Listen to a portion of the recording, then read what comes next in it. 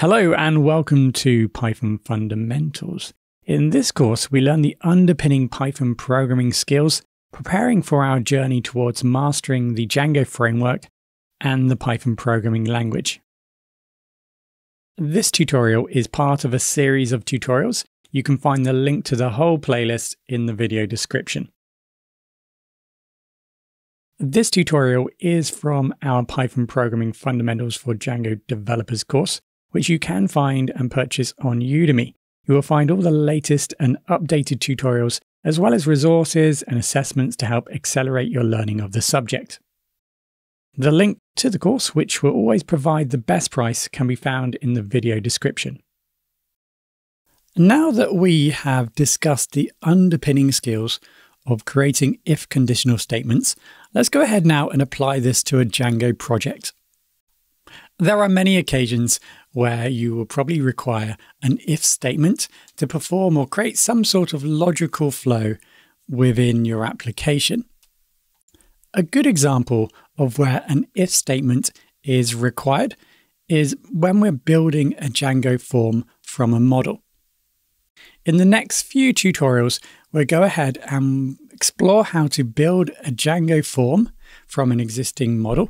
We'll learn how to render a Django form onto a template, and then we'll discuss saving the data from the form to the database.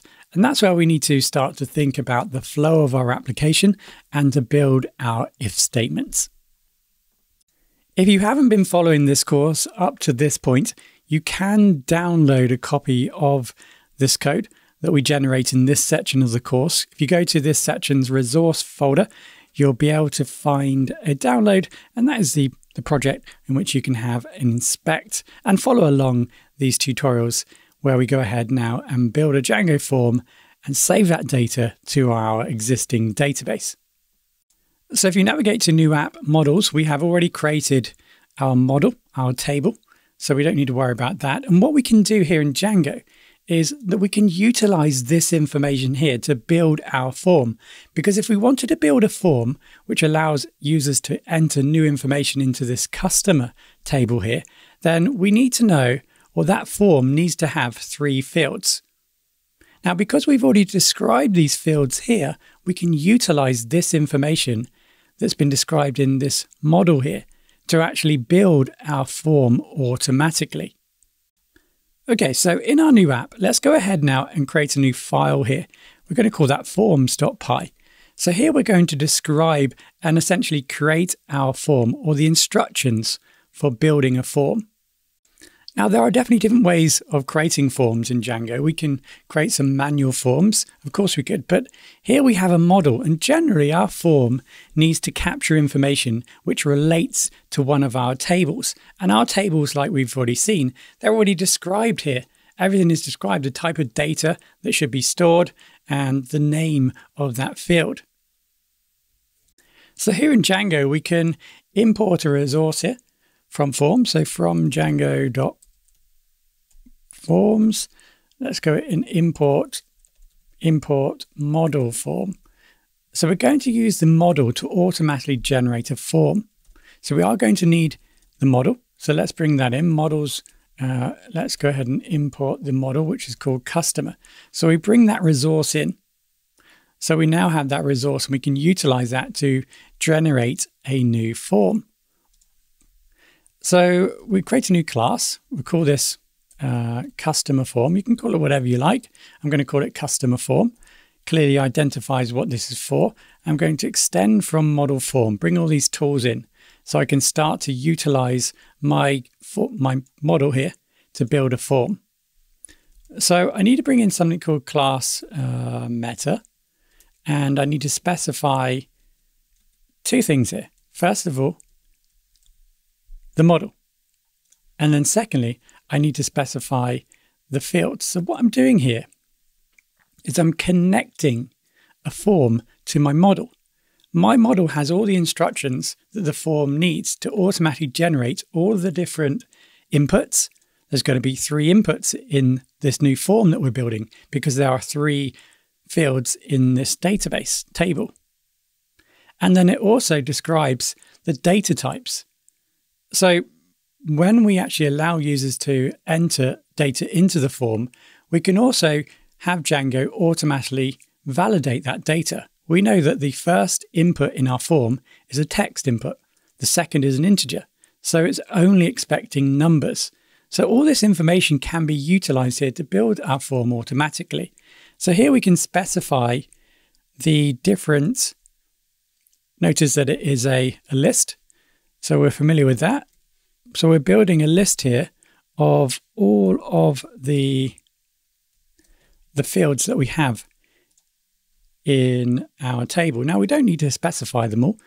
And there are lots of different options here. There are some forms or some fields that we may not want to include. So we simply just don't include them here. We can just um, tell Django to use them all, but here we've just specified them. So those are all the instructions that Django is going to need to build our form automatically. Right, so now we have our form. Let's close that. Let's go back into our views. Right, so we want to add now a new page where we can add more information. So if you remember the format previously, first of all, we need to build a URL, and then we need to build a view, and then we need to build potentially a template. If you remember this diagram we generated a few sections ago in the course here. So in order for us to allow users to access a new URL or a new web page, we're going to need to build a URL, attach that to a view, and then potentially bring any database resources in if that's needed. And in addition to that, if it requires a template, we're also going to need to build a new template. So let's start with building a new view, a, new URL, sorry. So we need a comma at the end here. Let's just go ahead and we'll just copy this. There we go. And we're going to need a new view for this. So let's call this add new. So the view is going to be called add new. The new path is going to be add new, as in add new customer. Okay, so we've created a new URL now, and we've attached it to a view. Now that view doesn't exist yet, so let's go ahead in our views, and let's go ahead and build this view. So def new add new. Okay, we're taking request, and then I add this pass keyword here. This is just a, keyword, a, a temporary way of ensuring that our code doesn't break. If we, for example, were to run our code now, everything will work okay. It just tells um, Python um, this is just a temporary piece of code. We're going to change that later. Okay, so we're going to want to render something out here. So before we do that, let's just go ahead and we're just going to add, notice I'm just copying and pasting. It's a lot quicker than typing potentially. So we're just going to return now we are going to need to return a new template. So let's call this add new. Okay, so now what we should have is a URL that's ready to pass on the user to the new view um, if they should type in add new into the URL after the home page. So that should take them to this view. Now we created this new page here. So let's go into our templates and add a new template. Okay, and then I'm just going to copy and paste the code from index. I'll put that onto the new add new template. I'll just remove all this stuff in the middle here. And there we go. So this is the add new customer page. So let me just put that in a heading. Why not? And see if we can now view that on our website. So let's go into Python 3, manage.py, run server. So if we typed everything correctly, then this should work okay. So I've opened up the server, I've gone to the web page, the home page, and we do have an error here, and that is because of some changes that we made in the previous tutorial. So if you go into index, you can see here that we were playing around and discussing for loops.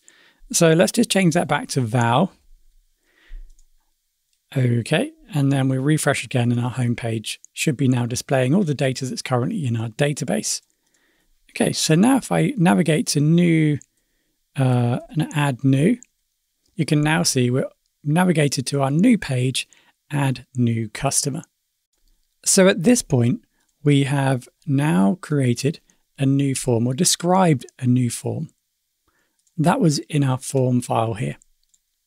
We've described the model and the fields that we want to utilize when handling our form or when generating our form. We've created a new URL. Remember the, the comma.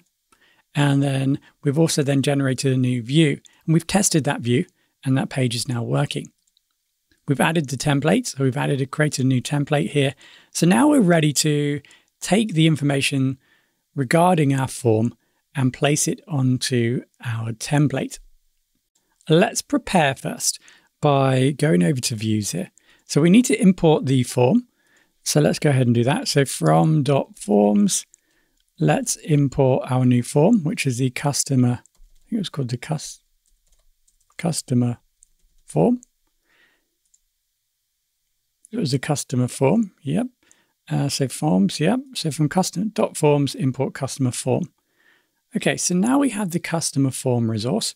We now need to output that form to the template.